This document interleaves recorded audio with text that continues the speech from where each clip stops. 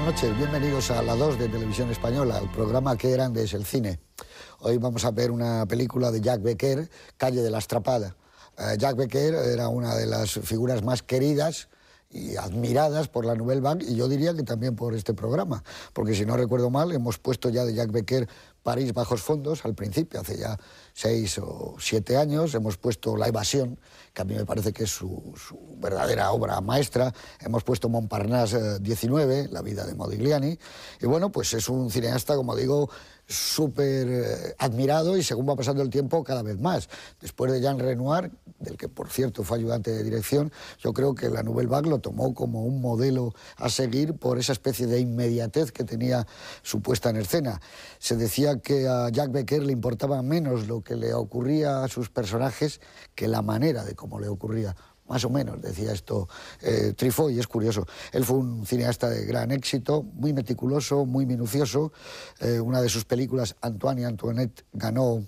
el Festival de Cannes, pero un Festival de Cannes donde no había, como es ahora, un gran premio, la Palma de Oro, sino que se daba premio a la comedia, al drama, al cine de género, y esta fue una de las películas que ganó ese año. Y bueno, no creo que se enfade nuestro querido y admiradísimo Luis García Berlanga, porque él lo ha dicho él, que fue la piedra de ensayo para la primera película que hizo con nuestro querido y desaparecido Juan Antonio Bardén, eh, porque realmente sale de Antoine y Antoinette, la historia de una pareja que les toca eh, la lotería, el décimo de lotería, y pasan un día inolvidable. Ese es el punto de arranque de esa pareja feliz. Es decir, que era un cineasta como muy seguido por todos ellos. Aparte de eso, tiene obras estupendas como Touché Pau Grisby, donde más que tratar de, los gángsters, y así era, eh, yo creo, Jack Becker, trata de la vejez, del envejecimiento.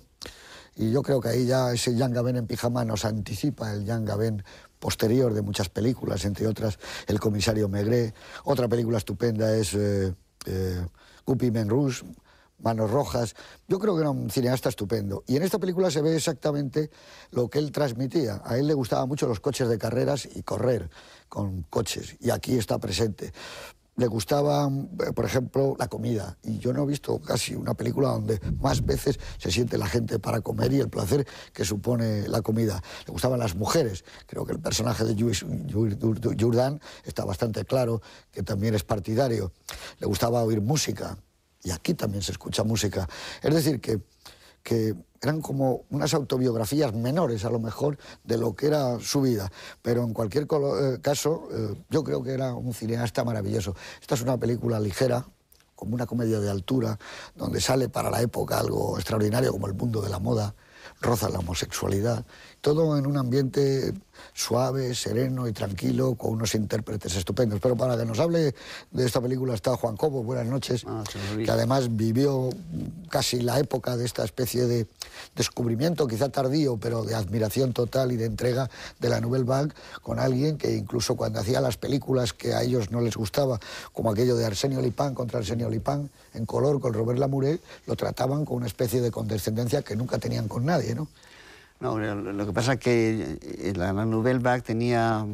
muchos motivos de, inspiración en Becker como en Renoir. Hay una época cuando los dos eh, coinciden, es decir, que Becker es un personaje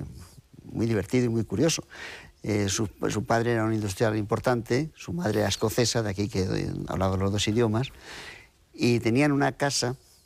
de campo para los fines de semana cuyo vecino, más, vecino inmediato, puerta con puerta prácticamente, o jardín con jardín, era, eh, era, Renoir, padre, y era, eh, era, bueno, estaba metido en, lo, mejor de la pintura francesa de ese momento, con lo cual él tenía una relación muy estrecha. No le gustaba, por supuesto, lo del cine, no era un hombre del cine, como tú has dicho bien, le gustaba muchísimo la música, eso se dedicó mucho,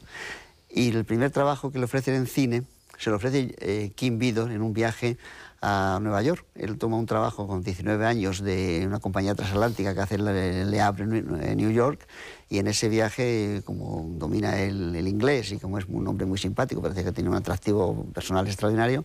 eh, conoce a Vidor, Vidor le ofrece,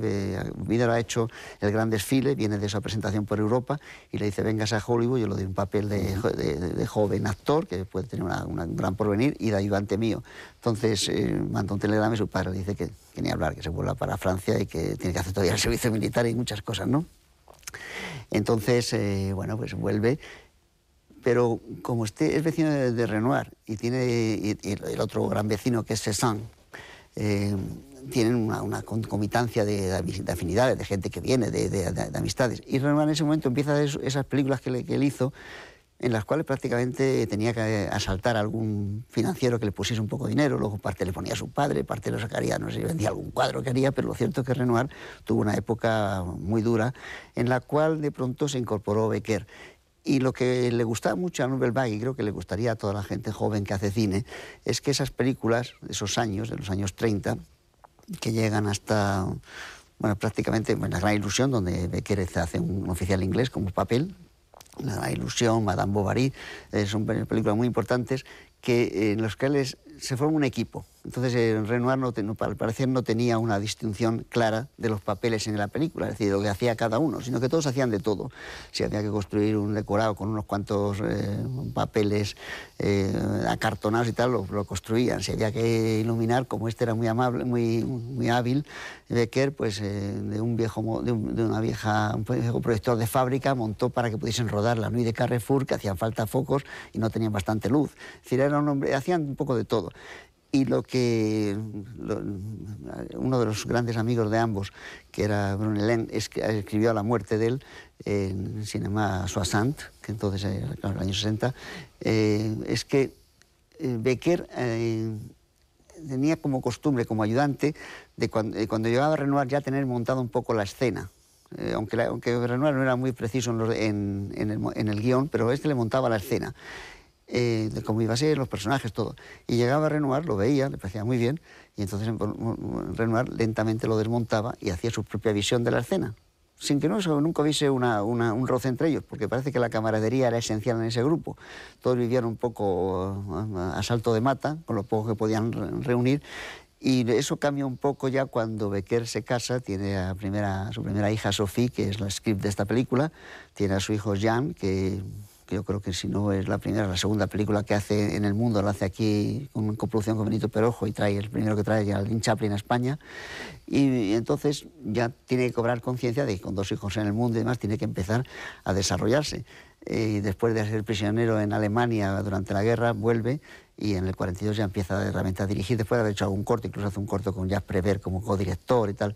Y hay no solo un momento de,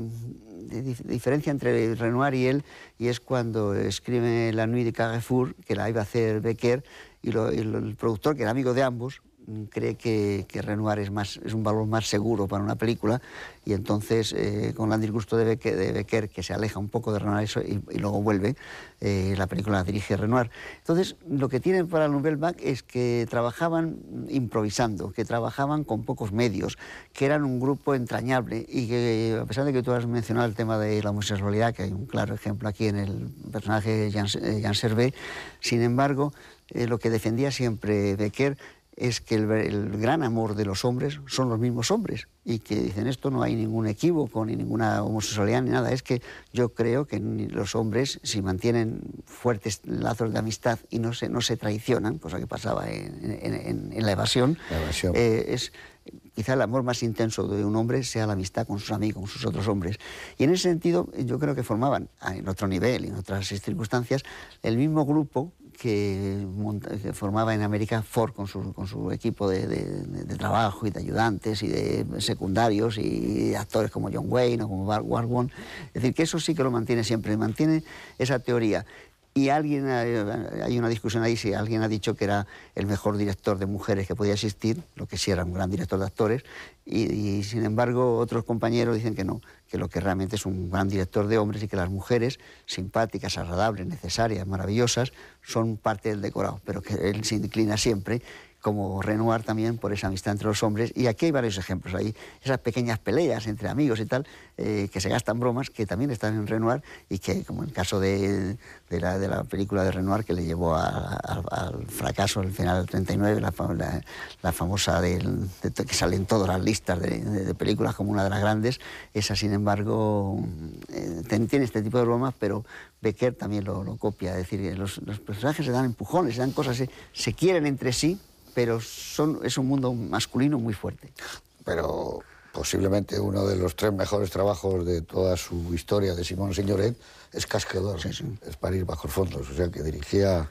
muy bien a las mujeres porque les gustaba mucho. Muy buenas noches, doña Clara Sánchez.